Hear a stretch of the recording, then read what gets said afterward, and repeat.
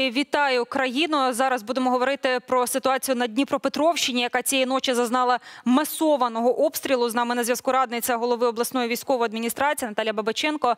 Пані Наталю, вітаю вас. Добрий день. Так, у нас трошки зникла картинка. Сподіваюся, пані Наталя до нас повернеться. Вже повернулася. Цієї ночі знову Нікопольський район і якась безпрецедентна кількість е, снарядів випущена 120. Які результати цього обстрілу? Так, на жаль, вони сьогодні дуже активно стріляли по Нікопольському району. Е, Ворожі гради випустили на сам Нікополь 120 реактивних снарядів. Стріляли тричі протягом ночі. Е, Дуже сильно постраждали три підприємства. Е, Видає знаєте, що вони умисно цілили саме по цих підприємствах. Окрім того, постраждали і кілька е, житлових будинків. На жаль, є один поранений. Це е, працівник одного із підприємств. Він зараз у лікарні. На щастя, стан такий, що життю е, нічого не загрожує. Також сьогодні вночі ворог обстріляв ще один наш район. Це Синельниківський. Е, Поцілили по житловому будинку. Це багатоквартирний будинок, у якому 12 квартир. Е, Постраждав дах будинку, вікна, двері. Люди е, не ушкоджені.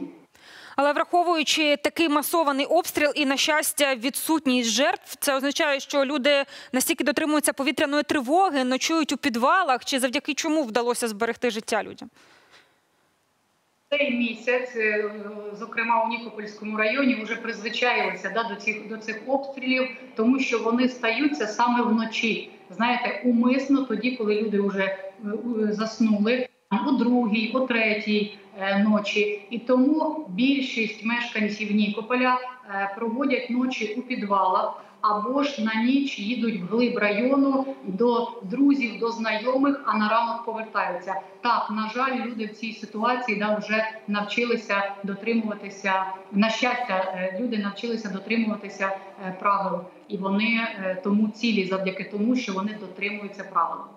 Наскільки я розумію, ці гради та інша артилерія, якою гатять по Нікополю, вони стоять впритул до атомної станції Запорізької атомної станції в Енергодарі, і відповідно дати відсіч цьому неможливо, щоб, не дай Боже, не зачепити станцію. Правильно?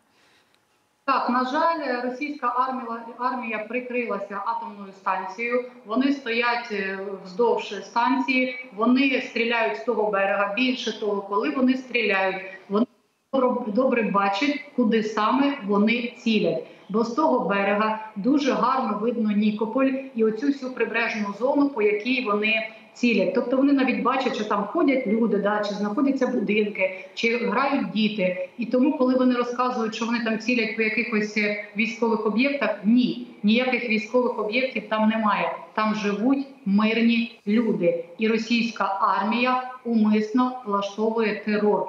Вона залякує наших людей. Чи люди активніше виїздять зараз із Нікополя у зв'язку з такими масованими обстрілами?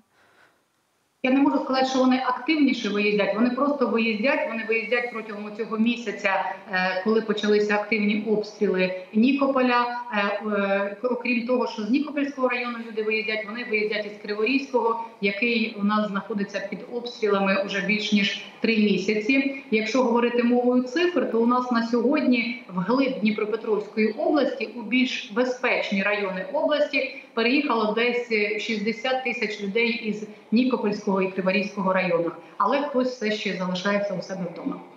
А який це відсоток населення 60 тисяч з цих двох районів? Ну це можливо процентів до 10, не більше.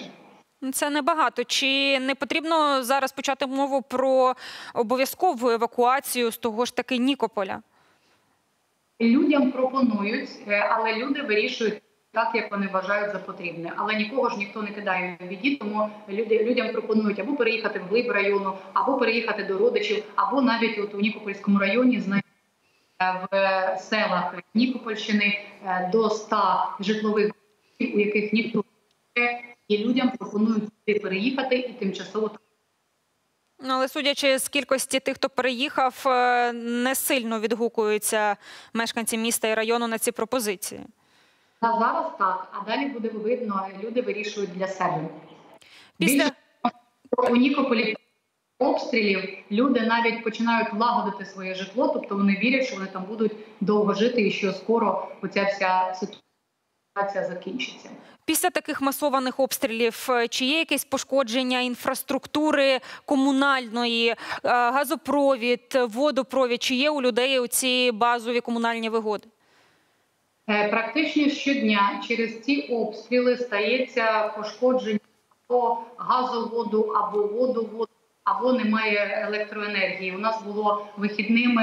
е, Була така ситуація, що майже 7 тисяч людей у Червоногригорівській громаді, це Нікопольський район, через ворожу атаку лишилося без води. Але наші комунальні служби дуже оперативно і сміливо працюють.